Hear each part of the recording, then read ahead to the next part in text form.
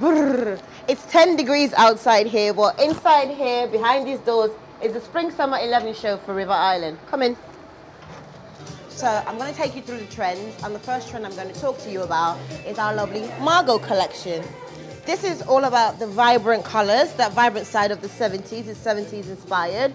So we've got key pieces like uh, a halter neck dress, which to me is my favorite piece with all these little colors and the gold flecking going through it. We also have little um, chiffony blouses, but again, in bold and bright colors.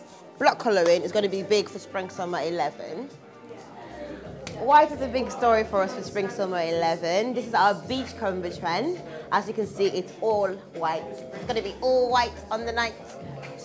Anyway, there's a lot of broderie anglaise going on here, as we can see in crochet detailing. So we have like lovely crochet bikinis, little crochet tops, which I just think are so divine. And we have dresses like this next trend I'm going to talk to you about is our commune. You could call it a hippie commune, or but we've just gone with commune, and it's print um, mixed in with a bit of denim. Quite casual wear and quite festival wear. It's what you wear to festivals, I, I think, anyway. So we've got lovely pieces like this, willow blouse. It's got a drawstring. We've got these harem pants, quite see-through, but they're gorgeous. And again, lovely fringe detail top. So what is spring summer without a summer shop really? So here, welcome to Marrakesh, which is our summer shop for spring summer 11. So what we've got here, of course, is loads of print with embellishment on see-through chiffon garments like this. This you can just wear a bikini underneath it, chuck that on. And then here, we've got this little kaftan bikini, a kaftini. There, I've just coined out phrase, a kaftini. Here, we've got that River Island. And then we have our Molly trend, which is taking inspiration from the 60s, so Mad Men, or in fact, our predecessor, Chelsea Girl. So all it is is lovely 60 style shapes. So we've got like box shapes on the jackets. We've got some Peter Pan collars on the dresses. We've got some lovely applique and the color palette is quite sugary pastel. Over here is our Nomad collection, which is quite 70s inspired again. But the color palette is toffees and tans. So we've got pieces like that. So it's very earthy, an earthy color palette.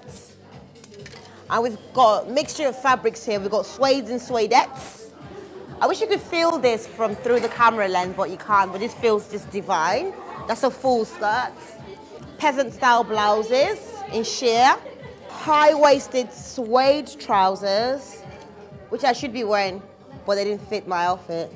Okay, this is our relaxed trend and it's luxurious sportswear. Um, so we've got sportswear, uh, we've got leather pants in sportswear mode. So look at these perforated leather pants. I think it's really fashionable and quite grown up for us anyway. And um, we've also got lovely joggers. Joggers are going nowhere. I know um, everyone thinks the harem is last season, but come spring, summer 11, these drop crotch pants are still going to be out there. Again, like I said, this collection is mixed in with denim, so we've got pieces like that. I just think it's quite rugged. And we've got this thing whereby we're mixing de um, denim, a different fabric. So we're mixing denim here with some cotton. And of course, being sportswear, we've got to have something drawstring, so it's a drawstring jacket. This is our Retro Geek collection, and Retro Geek is just a clash of prints. It's what I like to call my little kaleidoscope of colors because here you can just clash any of the prints together and still be looking on trend. So what we've got here is lovely uh, dungarees and floral, so floral print again. It's one of my favorite sets. I just think this bustier and these shorts and this ditzy floral is gorgeous. So it's not even yet 2 o'clock and we've had over 200 people come through the door. Spring Summer 11 is River Island. Gotta go. Bye.